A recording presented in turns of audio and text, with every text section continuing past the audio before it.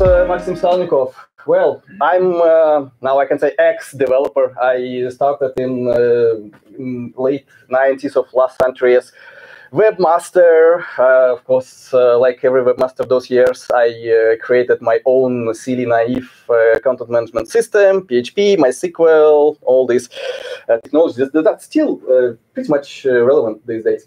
after I moved to Norway in 2011, I discovered for myself communities. Uh, and instead of being just uh, like um, coder in the corner, you know, the classical one, I started to visit meetups, started to co-organize, organize, uh, founded a couple of conferences, and yeah, now being part of community is just part of my personality. It's not even related to job because uh, yeah, it, it all started way before I joined Microsoft five years ago, and uh, yeah, I often um, speak about technologies sometimes uh, do kind of workshops and very occasional, uh, occasionally write the blogs. And uh, what, what I do in Microsoft, um, I have long and boring in, internal job title, but in the big picture, I help developers to succeed with uh, tools we build for developers. You know, Microsoft uh, builds tons of uh, services, products, everything.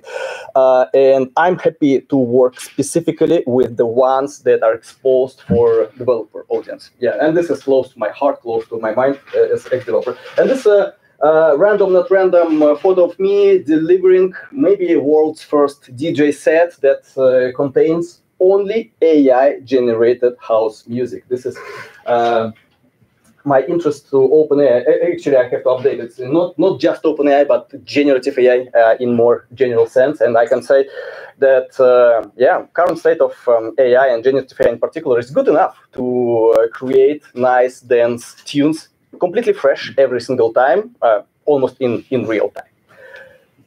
Okay, yeah, you may be uh, not not super inspired by uh, some some business um, uh, numbers as developers, but uh, for those of you who participate in sales, and I assume yeah, uh, JPro is commercial commercial organization, right? Um, you you you have to chat with uh, customers or potential customers. The AI or generative AI is a significant part of uh, all technical story these days. And almost all organizations believe that AI will give their competitive edge. And uh, over half of all organizations worldwide already have something related to um, AI in their stack of services and products. So yeah, uh, I mean, it's uh, inevitable. It's here. It's today and um, maybe last slide with some some dollars uh, on um, on the deck is um, it's quite good return on investment and uh, it's quite quick and fast time to value. If you want some public ready supporting materials on how to convince customers more in um, like, uh, bringing up and building uh, AI and generative services, I have set of decks for you. Just ping me. They are industry based, so you, I mean, you, you you'll find some very nice supporting material to uh, have very uh, say detailed and um, fruitful discussion with the customer. And uh, it's it's it's fun enough that these days, or maybe I mean, at least. Uh, uh, when this generative AI hype started, it was not like uh, there is issue and there is solution uh, when customer uh, comes to us with um, uh, to chat about generative AI, but vice versa, customer come, uh, customers come to us and ask, we want to introduce something with generative AI. Find uh, help us to find to identify what we can do. So it's like vice versa. It's, but of course now it's maturing and more and more companies clearly understand when and where to apply. And I have a few slides to to help to navigate this. Um, I don't know how deep uh, are you and uh, like personally and as JPro familiar with uh, Azure Stack? I mean, I did a brief investigation on uh, jpro.no. Uh, and I've seen that, yeah, you, you listed Azure as a cloud you work with. I uh, couldn't find uh, .NET as one of the back, backend uh, languages, but yeah, of course, obviously, every consultancy in Norway has its own specialization.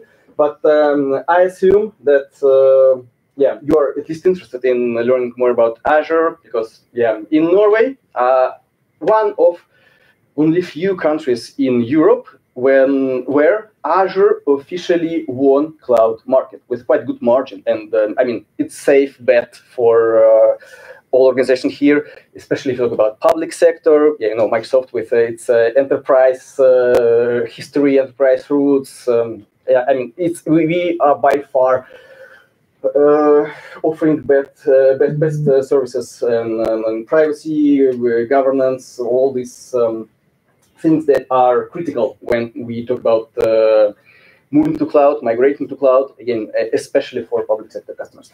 Yeah, but uh, about AI. And way before this uh, hype with generative AI started, when OpenAI ex suddenly exposed this chat.openai.com, uh, like uh, November last last year, when suddenly world uh, found generative AI as a term not um, only for data scientists but for pretty much um, everyone. So Microsoft in this business uh, for years, uh, and uh, before all hype with uh, LLMs and, and uh, Gen AI started, we uh, developed lots of de developed, develop, and will develop lots of things, um, um, more more general things, of course, that are that, that, that complement current possibilities, starting from infrastructure. Yeah, Microsoft has uh, quite a few data centers around the world, right? We have uh, some computational power that is absolutely needed if we uh, ever start discussion about AI. Then uh, set of services, whole families of services for data engineers, data scientists, when uh, they or you can create models from scratch, train, deploy, monitor, optimize, like pretty much uh, full full stack um, here we talk uh, about uh, LM ops. And on top, services for uh, like developer audience. If your if your company doesn't have data scientists in uh, org chart, you still can uh, leverage AI uh, because we have set of uh, ready-to-go models for domains, for industries, for tasks, just pick, pick your needed level of specialization and uh, send API call, and you will get uh, back either, um, I don't know, um, image to text or uh, text to image with uh, DALL-E now or uh, translation or generation new text. I mean, it's just a question of communicating with the respective API endpoints. And recently, we organized everything under Azure AI Studio umbrella. I think I, I have a couple of slides on um, on that. What uh, how that can simplify your life as a developer. And yeah, Microsoft of course is uh, actively using AI for customer facing products. Definitely not uh, not main focus for today and for, for this audience except this one. So we have we'll have a separate session as, um, on uh, GitHub for uh, GitHub Copilot because this is like directly relevant to developer audience. But yeah, we have bunch of copilots and uh, more copilots to come. And these copilots are let's say for business users, uh, right? And uh, it doesn't mean that it's only out of the box like predefined copilot. They are still customizable. You can still uh, let's say, make your hands dirty as a developer to customize copilots, to build the new ones for our uh, modern work and uh, business stack. Uh, talking about copilot stack, um, again, the, the whole story around uh, generative AI, about Azure OpenAI, about uh, copilots is maturing every single day. And I mean, what we have now is next level compared to what we have just one month before, and not comparable to what we had one year ago.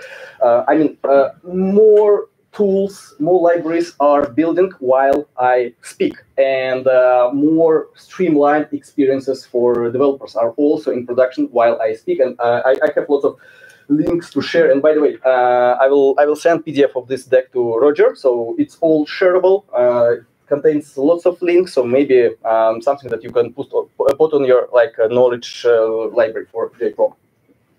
Yeah, so how how th that works in a in like let's say bird eye view. You have your your data foundational models, the ones uh, created for you. Uh, you can use them out of the box or fine tune, and of course, um, again, computational infrastructure is uh, essential layer, as a foundation of everything. AI orchestration, this is mainly where developer skills needed. So this is where you actually create applications, where you actually build these backends that uh, organize this ping pong with uh, um, calling API of uh, LLM, calling API for some external services to grab data, chain, parse, everything, everything. And what you can build is um, is on top. So either uh, customize existing copilots or build your own ones. And here uh, I uh, like copilot's very generic term, right? It's not only about uh, uh, representing one concrete product, but let's say it's it's AI assistant in very general sense, not not only chatbot, by the way, because chatbot is maybe the simplest to visualize option how generative AI can uh, can bring some value to uh, to, to, to, customers. Uh, but yeah, don't don't limit yourselves to only that kind of experience in mind. Um, and yeah, it's very important to understand relationships between Microsoft and uh, OpenAI. These are two different companies, two different legal entities. Actually, I don't. I'm. I'm not sure that Microsoft even uh, has some stake in um, in OpenAI. But definitely, Microsoft was one of the early investors into OpenAI and continue to to invest. Uh, but uh, yeah, they are intentionally separate, right? So uh, it's, it's very important to understand because OpenAI was the company that actually uh, started this uh, generative AI boom, revolution, hype, buzz, what, um, you name it. And uh, thanks to investment from Microsoft, I assume it was mainly in form of computational power, but I cannot say uh, for uh, for sure.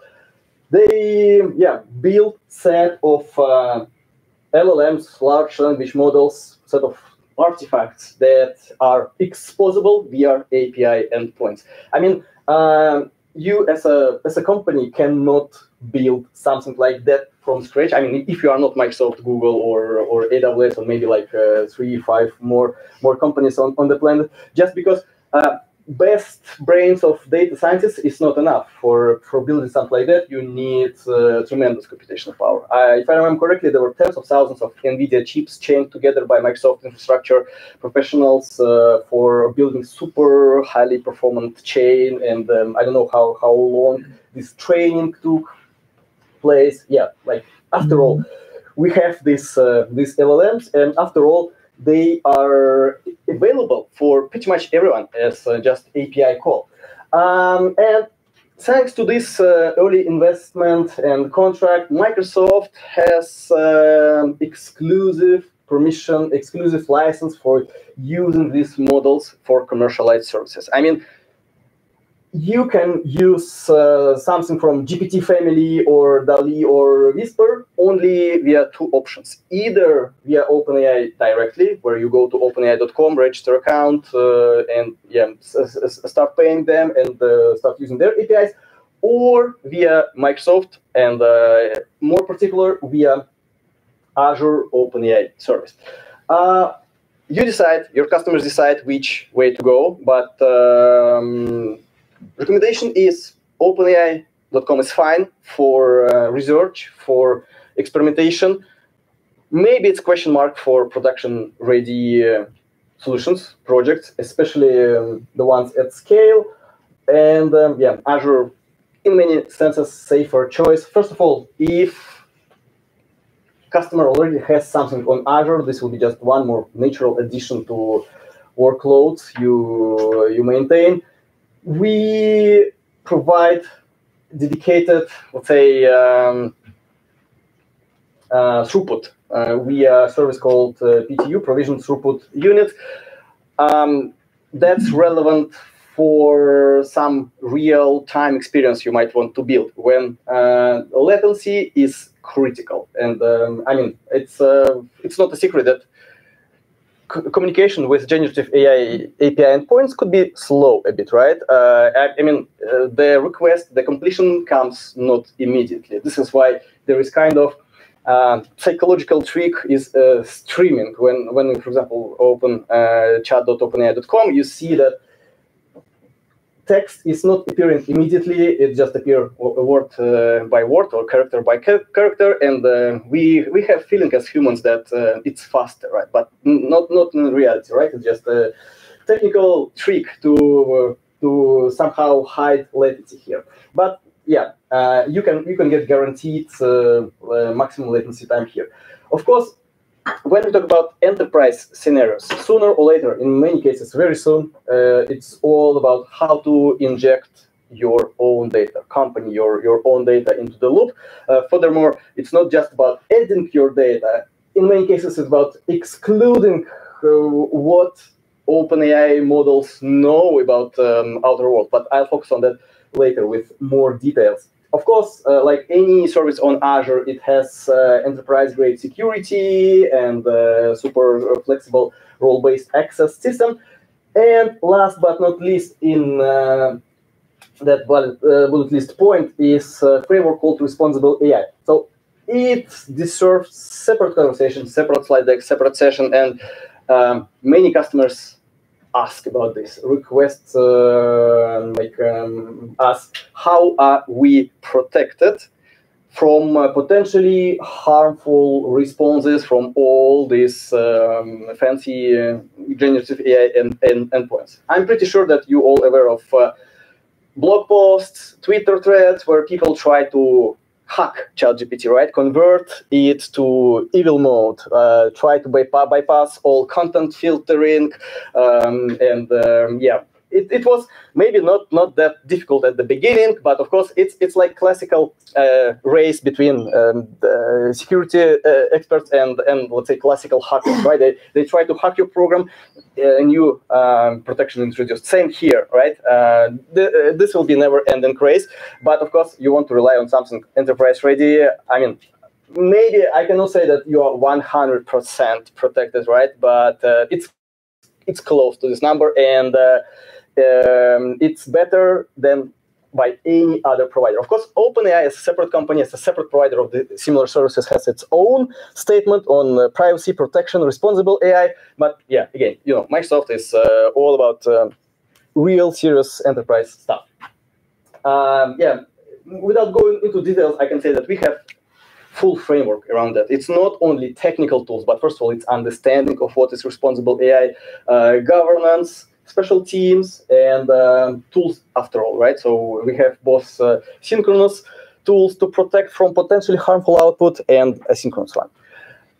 Next, uh, super often question from our customers is um, exactly about how their data is used in that loop. Because it, it, as an API-based service, it's about sending some data to external API endpoint. And the question is, uh, what if there is some sensitive information in the prompt you sent? What is um, there are some secrets? Um, after all, I mean, uh, how customers protected from not having their uh, data or part of their data as completion for other customers' requests, right?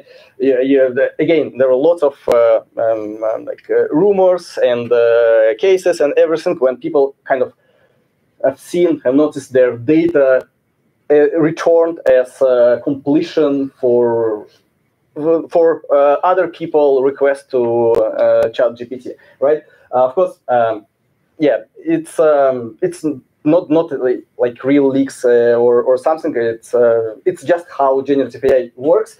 But in case of Azure OpenAI, it's like 100% clear. Your data is not available to any other customers not available to OpenAI itself as a company, right? I mean, it stays within Microsoft boundaries. Uh, not improving OpenAI models. I mean, it definitely 100% does not participate in further training of, of the models because, yeah, training of the models is kind of evergreen process and other statements. I mean, uh, as a customer, you can always get full picture on uh, where your data is flowing, what kind of uh, intervention from Microsoft can happen, uh, if if needed, if there are some some triggers that uh, uh, like uh, signal potentially harmful either response or request, and there's set of flexible tools for customers to either completely opt out or let's say soften these content filters. Again this is um, in uh, in production already and getting better and better and better and gain a few steps ahead of uh, all other offerings. Um, so, what exposed as Azure OpenAI points? First of all, full family of GPT models. And the uh, flow is following. Normally, some new version of the model or new model appears on OpenAI.com, uh, and after some some time, and I of course I cannot give you exact like number of days or, or weeks. It all depends the same feature appears on Azure OpenAI because it takes some time for Microsoft, for, for Azure engineers to, let's say, industrialize this experience just to make sure that, again, it's safe, it's, uh, it can be used at scale, and can be exposed to, to the customers. But yeah, sooner or later, it inevitably appears on um, Azure OpenAI with, uh, with some delay. Uh, so GPT family, DALL-E family, uh, it's uh, like, even though we have uh, image now in the loop. In the loop, it's still, uh, let's say, descendant of large language model because it all starts with uh, understanding or understanding our natural language, our human language, and only then some some magic happens. Either uh, picture generated or uh, text to voice, or or hard to imagine what what comes next. Um, and one of the latest additions to this family of um, APIs is what we call multimodal usage of um, GPT uh, GPT family models when you sub submit both textual prompt and image or video as a part of one prompt, and it opens doors to lots of interesting use cases. Uh, and definitely, it it goes way beyond just uh, computer vision. Just let's say uh, hey computer, tell what's uh, on this picture, because this kind of functionality is in production for years. It, it's uh, no longer something uh, inspirational. But if you ask what's wrong on this picture uh, or how what could, what could be improved on this picture, this is next level, right? Of uh, again understanding in a, a very special uh, sense of this word. to help navigate customers with uh, what's possible. Again, answering their questions like we want to use generative AI. Where? How? What, uh, which extra like dollars or Norwegian crowns uh, you can bring to ACR? Yeah, we have multiple dimensions on how to look on what's possible. First of all, we categorize everything into four large buckets. Definitely, I'm not uh, going through um, all components of this busy slide. Um, PDF is available, so you can always uh, get back and get some inspiration. But in the big picture, everything about content generation. Uh, I'm pretty sure that everyone in this room tried um, ChatGPT um, to to create texts, poems, songs, whatever. It's perfect. Uh, this this generative AI in, in general and uh, GPT family of models in particular less creative, but uh, still super relevant task summarization. And uh, it can be summarization, it can uh, be, let's say, classification or categorization. Also very smart. Uh, and the next level advancement from uh, compared to all previous like pre-generative AI um, AI services. Code generation, and this is what we again um, experience personally uh, on my second session very soon.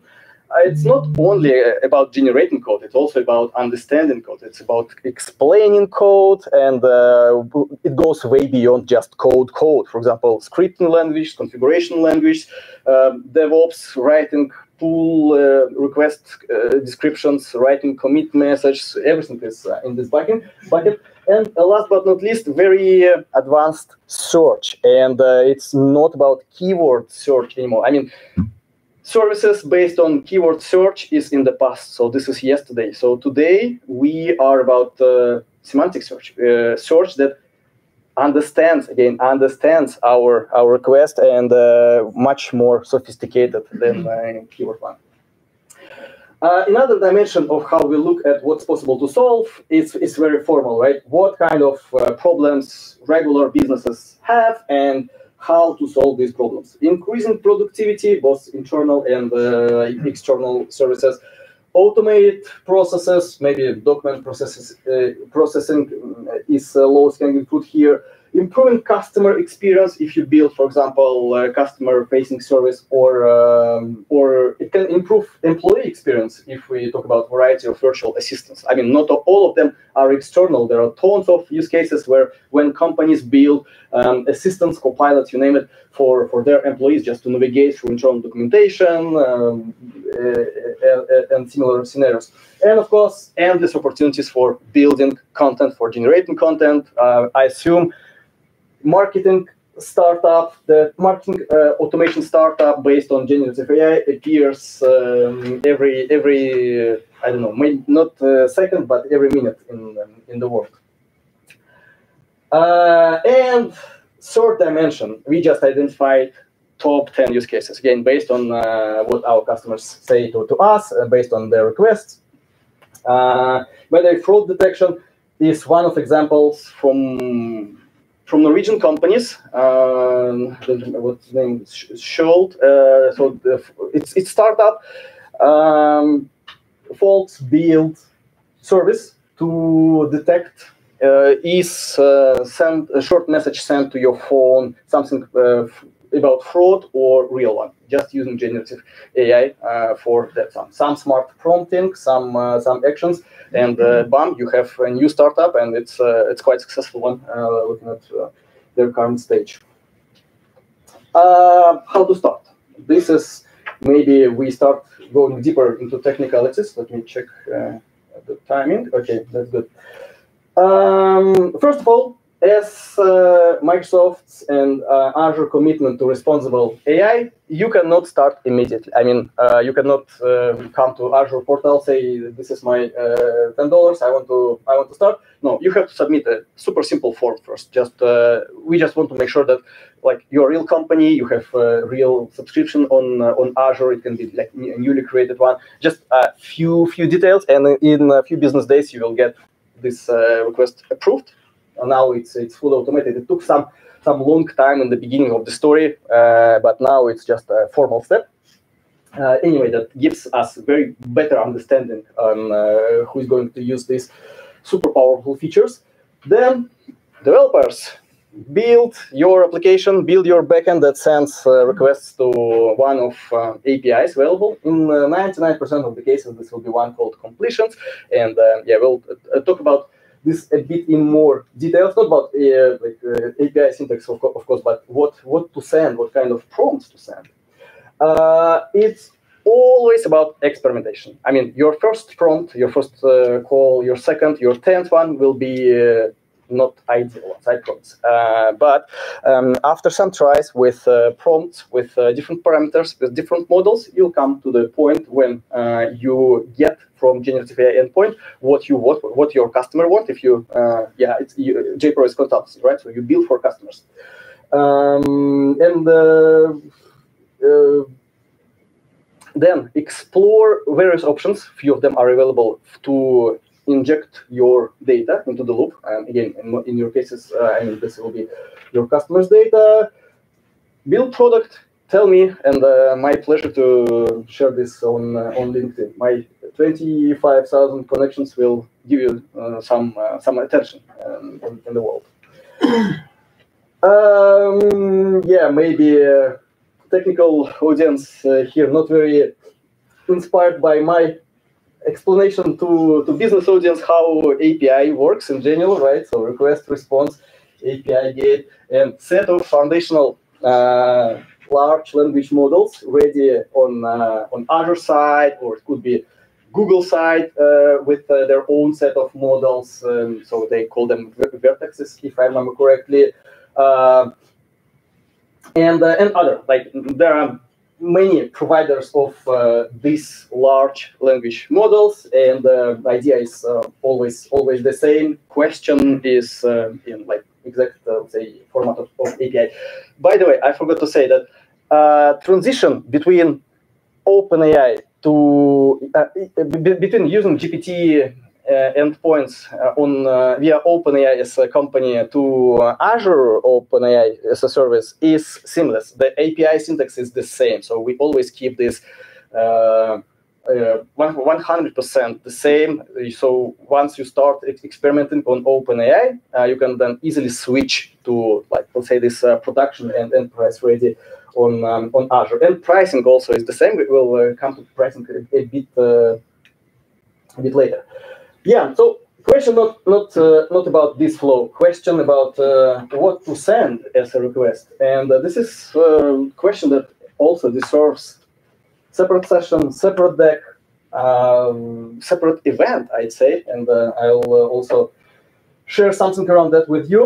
Uh, prompt engineering, it's a completely new uh, discipline, maybe there are not so many people who are 100% prompt engineers in the world, but this number is uh, increasing, uh, and there is substantial number of, um, of, of people many of them are developers, but not, not obligatory, uh, who have prompt engineering as a prominent part of their day-to-day responsibilities. I mean, uh, this is uh, somewhere in between of being technical, understanding natural language, maybe being a bit uh, like psychologist, maybe being a bit uh, data science. So it's a fusion, fusion of um, of skills that allows you to build the most optimal prompts when you communicate with uh, generative AI services. And by the way, it's equally relevant for OpenAI, for Azure OpenAI, for models by Google, models by Meta. So the idea is absolutely the same. Uh, so it's it's not somehow locking you to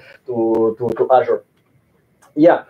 Uh, and uh, if we look at um, kind of generic prompt we can uh, split it into multiple components of the prompt or prompt anatomy if you wish uh, in this uh, very like simplified and sim maybe not very synthetic but definitely very uh, simplified uh, example where we build marketing automation service that helps us to build uh, emails uh, for this or that occasion. In that case, we ask uh, generate email for launch of uh, new headphones. This is our instruction, and sometimes this instruction are not that explicitly visible. So you know how uh, ChatGPT works. It will answer anything you submitted, right? With uh, clear order or just, uh, I don't know, chain of your thoughts, you'll get an answer. This is nature of uh, LLMs and, and Gen AI. But of course, in uh, this enterprise uh, scenarios, it, it's good idea to be very clear, as clear as possible, I'd say.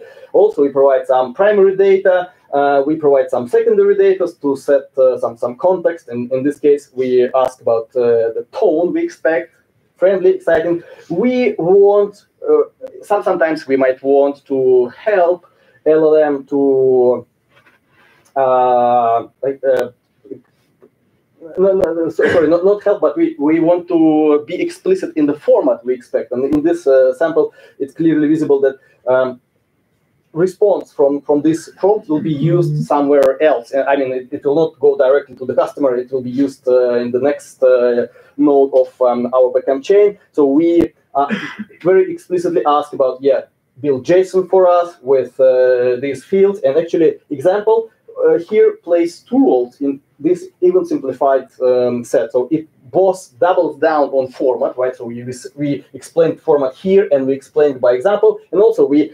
uh, give example what kind of tone we, we need, what kind of text we need. Um, in many cases, it helps. And um, yeah, I, I, I have um, a slide on uh, providing examples.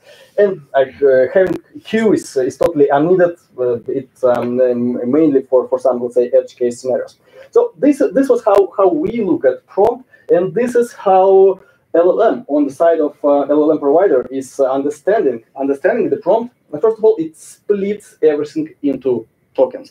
Token is very inter, uh, important concept um, in um, your communication with um, LLM um, because of multiple things. First of all, you you pay based on the number of tokens you send and receive. Again, maybe this is uh, this pricing model relevant not for all uh, existing LLM providers in the world, but it's mainstream. I mean, um, vast majority of providers um, uh, charge you like that. And second, there is always limitation on number of tokens you can send as a as a part of prompt. This is what called uh, context window, and this is technical limitation. Even though it's uh, expanded, expanded, and expanded, it exists. Um, yeah, token. Uh, first of all, I'm not data scientist. I, am not uh, here to explain uh, all all the details, but in very simple words the the more often word was met in like training set, the, the larger chance that this word will be considered as as one token. Of course, it's like completely different if we say about more complex things like uh, like uh, uh, commas and uh, and all these you know non non character signs and non uh, non regular words. Um, I mean, there is no clear rule how to split into tokens, but there are tons of different let's say tokenizers that can give you uh, at least uh, uh, rough understanding how many tokens will be in this particular um, message. And yeah, back to back to pricing. This is a screenshot from Azure OpenAI service maybe it's um, a few months old on, on this deck. Maybe prices uh, changed. And the good point here, if like at least from all previous experience, if prices change, uh, change they uh, they reduce. I mean, uh, some some companies, some startups uh, had to recalculate uh, their business models in and yeah in, in positive side. Um, this again, this is this is uh, evolution of, uh, of services and uh, models more more and more efficient, and of course uh, prices are uh, going down. And Microsoft has a price parity with OpenAI, so we do not compete uh, in prices here. and unlike many API um, providers you you worked with before, this one is interesting. This is where you pay both for number of tokens you send and number of tokens you, you receive. Also, something to keep in mind um, when you, for example, estimate uh, some, some pricing for usage for, for the customer. And of course, it depends on concrete model. Also, a uh, very good idea to come up with some model selection strategy. It's simple. Normally, you start with the most expensive one. You find your best mm-hmm. prompt that uh, does job in a satisfactory way, and then you can try to downgrade to simpler model, for, in this case from GPT-4 to uh, 3.5, uh, to save some dollars. If results are still good, you just stay there. Uh, if not good, you try to optimize your prompt, and uh, maybe you'll find the one that um, again will save some uh, some dollars. And you see that it's uh, actually a couple of orders cheaper. It's not something insignificant if we talk about some you know, massive of this. But but again, you see, we charge for thousands of tokens, some zero zero zero something cents. I mean, um, it's it's not about something substantial for every single request, even for uh, relatively long ones. And um, this context is actually a limitation of, of number of uh, tokens you can send. You see, that's uh, about thousands of them. Uh, definitely uh, not not something for you to worry about if uh, to send one paragraph of text or two, even like one page of text or two. But definitely, you cannot submit all Harry Potter book in in one request. It's still possible, but with some prompt chunking te uh, techniques. Uh, more technical stuff about space efficiency, uh, efficiency. Again, if you talk about, let's say, massive uh, usage of these APIs, every token can can matter, right? Uh, and um, sometimes you just put some some extra white spaces, not very visible, right? But every of them um, normally takes um, token. Uh, formats sometimes counterintuitive. An example with the date, right? We as, uh, as, as humans and I, I personally as developer often think okay the shortest uh, format is the most efficient but uh, it, in this concrete particular example it's exactly vice versa. So if you try to uh, provide date with very short and very like uh, technical format it will take six tokens. If we are full uh, date it's just three tokens. So on, on top is the most efficient um, bottom is less efficient. I mean we saved two times on just selecting proper format of the date. Um, if you want to submit something as a, as a table, just submit it as a table. I mean, use pipes or tabs, something just regular separators. No need to kind of uh, mimic JSON here. Uh, and also languages uh, make difference. And uh, obviously, the vast majority of uh, training materials were in English. This is why English is the most efficient token-wise.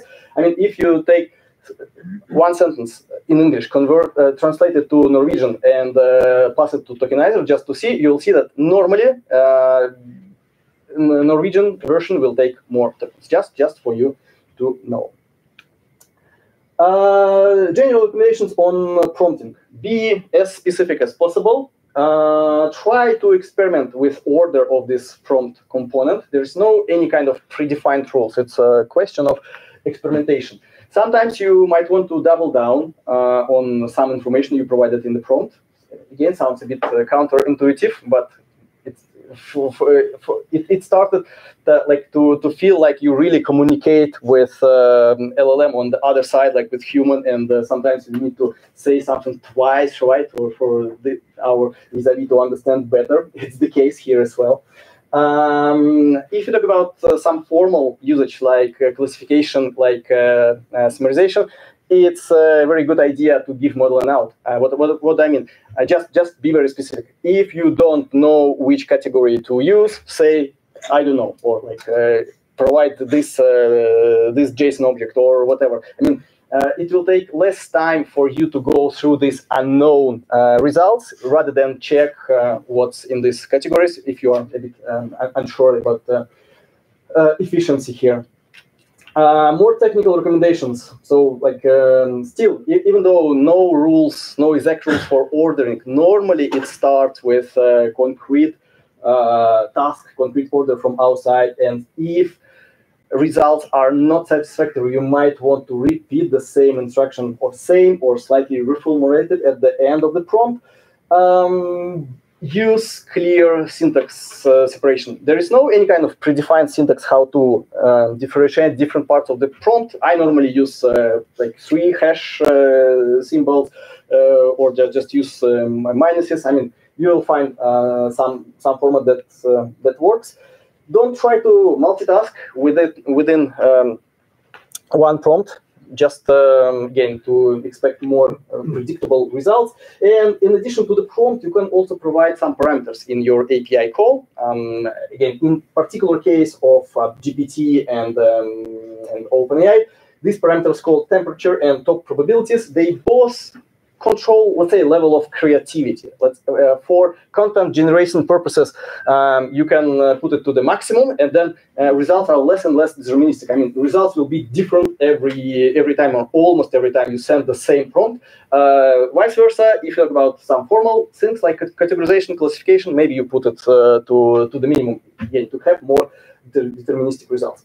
Very uh, short and also simplified example on um, zero shot versus uh, few shot prompts. And by shot, we mean providing examples. Uh, we are insurance company that, uh, or, or, or, or, or uh, IT company that builds service for insurance company for them to uh, have first level of support somehow automated and just categorize claims and customer provides some like email or chatbot conversation, and we want to put it into either auto insurance or home flood insurance. Also, in, in this prompt, we use one of the best practices I introduced. We give model out. Uh, so if uh, model, if if uh, LLM is um, not sure, you better say that it's not relevant to insurance rather than still like force put into one of the categories. And here comes the question itself. So you paste it from, uh, again, your email uh, or chatbot conversation. This is one example. If that works, perfectly fine. I just uh, keep it as is, just uh, monitor this, just uh, check, uh, just estimate quality from time to time. This is about, let's say, full cycle of um, software development. If not, you just inject some educational examples into one uh, single prompt. It's the, the, same prompt, just uh, enriched with a couple of samples. Uh, and then in many cases, results will be um, better than the ones that you expect the most. Now, it was a um, positive side about um, experience, right? It might sound like a dream, dream feature and a silver bullet for lots of things, but negative. And Cambridge Dictionary identify word of the year every single year. And word of the year for uh, last year is directly related to generative AI, to large language models in uh, particular. Uh, I, I already set the stage. It's a negative connotation, and uh, I also did my best not to pronounce this uh, word uh, during my narrative today.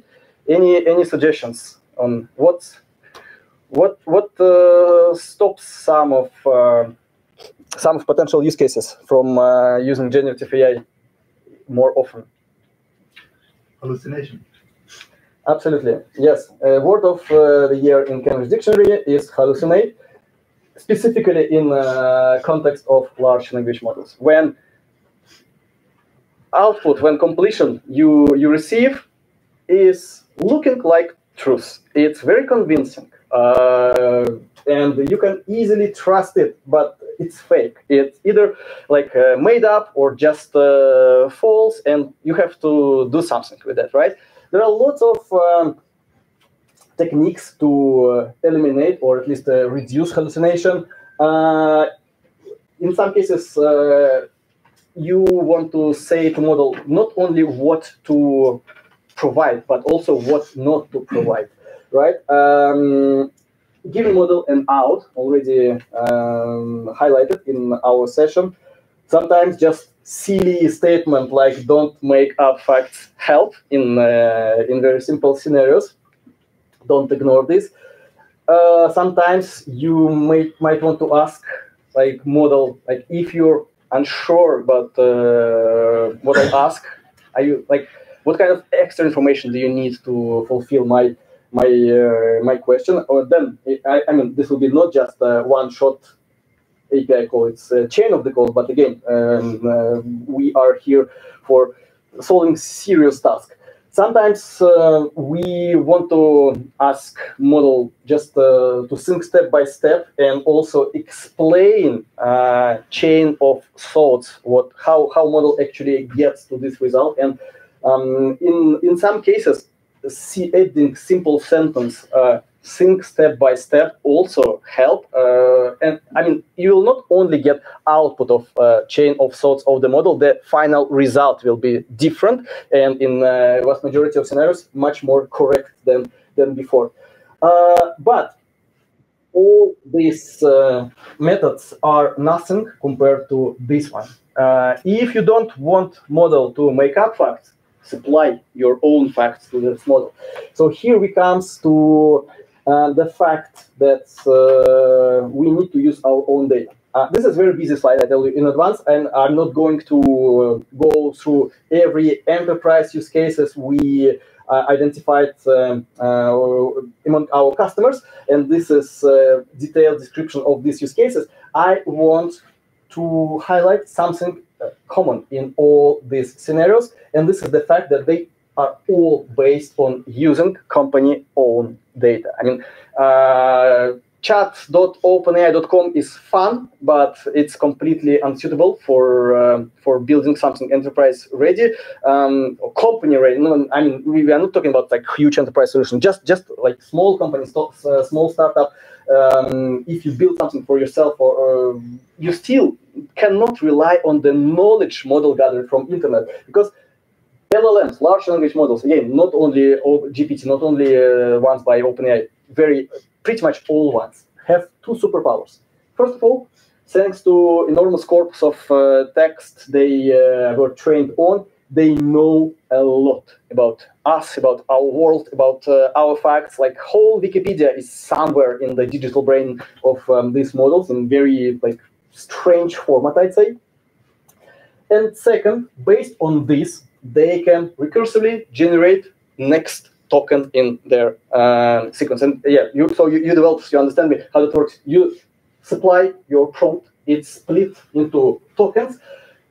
Based on uh, this sequence of tokens, LLM generates next token in this sequence, then takes new prompt the, the, that was just generated and does the same. So every single time it's just recursively generating n plus one, not word, not character, but token. Again, this is just a just technical detail. So, uh, well, for, for enterprise scenarios, uh, again, by saying enterprise, I, I don't mean like huge corporations, uh, but I, I just mean any, any company scenario.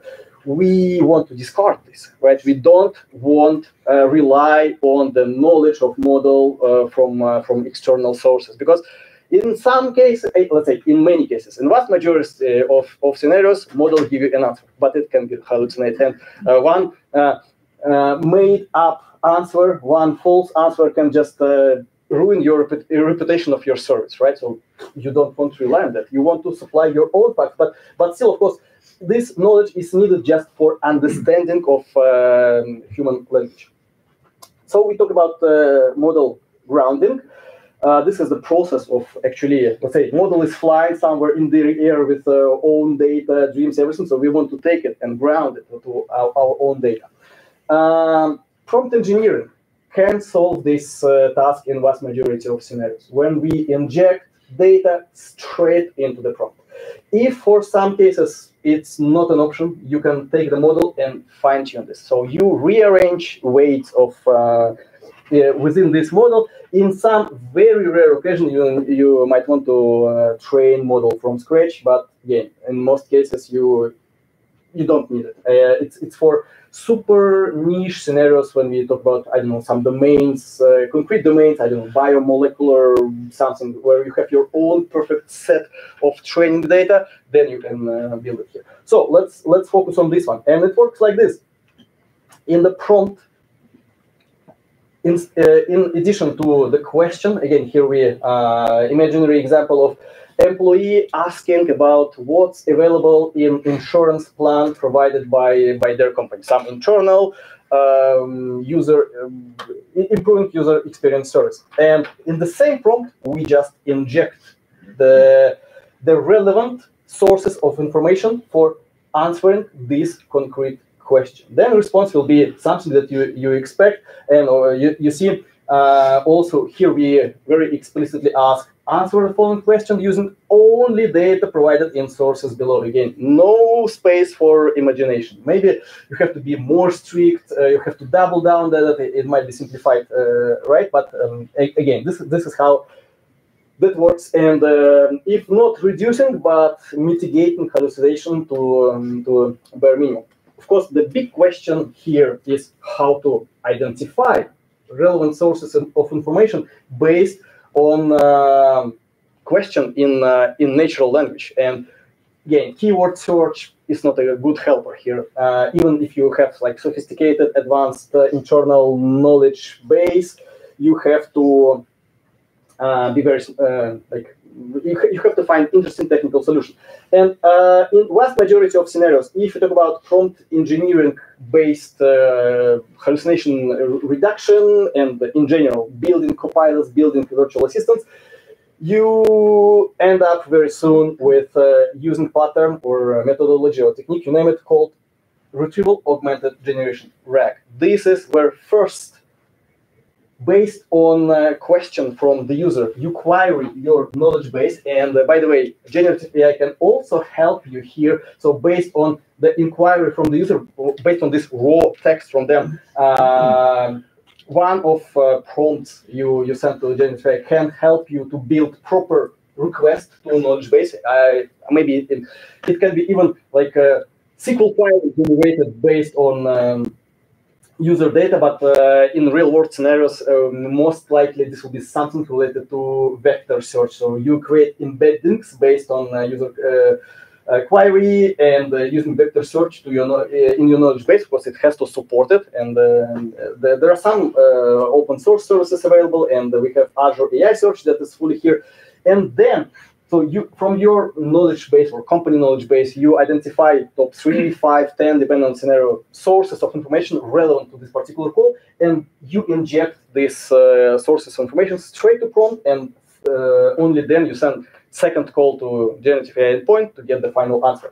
In real world situation, of course, uh, there, there can be multiple sources of, of, of information, right? Uh, so this is example of uh, virtual assistant for uh, sport outdoors e-commerce uh, solution and user asks like will my sleeping bag work for my trip to patagonia next month? We based on this uh, uh, question we can identify lots of like potential sources of information lots of potential uh, requests to third-party services.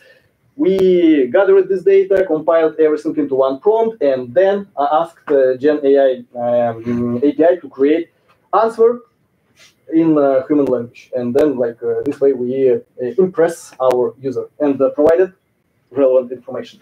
Uh, I actually over overrun so super briefly tools, services, samples, just for you to know some some keywords to orchestrate this bunch of um, calls and uh, to create something like uh, to, to mimic kind of internal memory of the model on your backend and uh, to perform lots of other tasks on very nice um, abstraction level, very comfortable for developers, very good developer experience. Um, few uh, frameworks, few libraries are available. LangChain, Semantic Kernel, they are competitors. They do more or less the same, simplified developer experience uh, building LLM uh, applications, slightly different uh, set of uh, frameworks and language supported, slightly different terminology, but idea is the same, proper dev experience. Uh, also, this is about, let's say, very developer part of the story, right? So once you build backend, you also have to do something with this. You have to deploy this, you have to monitor this, you have to check quality of uh, responses from uh, Gen AI endpoints from time to time. So it's actually full cycle, and we can start reasoning about um, LLM ops. And uh, there are quite a few components what can be part of, of the story. Again, if, if it's not just built and forgot scenario. Maybe uh, it's, uh, I mean, your, your customers do not uh, do not expect like that. Uh, so you have to maintain this also, uh, right? Um, from from this uh, perspective, we we, we have um, Azure AI Studio that I mentioned before that helps you to actually stitch all all the components I mentioned earlier, and also it gives you some extra possibilities. It, uh, for, for, example, in, in many use cases, you don't even need power and uh, and cost of this Azure OpenAI endpoints. I mean, uh, you don't need GPT family of the model because there are tons of other models on the market, like uh, open source ones. So you can pick, for example, Llama from Meta, and if results are satisfactory, well, you just spin up virtual machine with this model on your own, and uh, yeah, then you only pay for cost of running this virtual machine, and all these uh, calls to model itself are kind of free for you, uh, and lots of lots of um, uh, possibilities now with Azure. Azure AI Studio, you can pick model from the catalog. You can uh, uh, fine tune this if, if needed. And by the way, open source models are fine for fine tuning. And you can spin up virtual machine with a couple of clicks. You can then monitor and provide full uh, life cycle. Um, and we also have framework called Promptflow that, uh, again, in very developer-friendly way, based on um, YAML. I mean, uh, perfect for um, and DevOps and uh, all kinds of um, automations. Can can can like uh, imagine can uh, expose components of backend that responsible for communication with LLMs in form of flow, or more technically precise, in form of um, uh, graph with uh, like directed graph where every node uh, represents either call to this or that LLM. Again, you you, you pick here uh, in UI editor or provide manually in in YAML if you don't need um, experience like this. Um, and uh, yeah, every node uh, in this graph either call to LLM or some uh, uh, snippet of uh, code in Python, for example, to parse result, to uh, do string manipulations, some prompt templates where you inject information based on previous calls, and yeah, after all, you send call, call to final endpoint, and again, you can easily create application uh, from this uh, uh, from this flow. Uh, we have low code slash no code solution for using Azure OpenAI on your data, where you just literally upload uh, documents and ch start chatting with them, also customizable, and lots of uh, options uh, and samples available for RAG. I mean, just half a year ago, nothing existed here. Now we have tons of uh, GitHub repositories where you just uh, clone, uh, customize, and you have ready to go uh, at least foundation for your real augmented generation service. I mean, don't start building this experience from scratch. You'll just uh, spend time. Just rely on what's here. It includes best practices, all um, important components for real world projects, even more samples. So you'll uh, have all these links. And uh, prompt engineering, this is my separate uh, special topic of interest uh, personally. I gathered free resources for you to, to go through. And you can get some uh, free certifications here. Talking about uh, conferences, last October I organized world's first conference, prompt engineering conference, dedicated specifically to that topic. And as a result, there are 10 hours of uh, video content on YouTube available for everyone. And that's it for for that session for myself my main call to action this is QR code that leads to uh, my LinkedIn profile. And instead of you know uh, remembering all these links and everything, just contact me. It's my great pleasure to uh, to share everything and um, yeah, chat about this and other topics.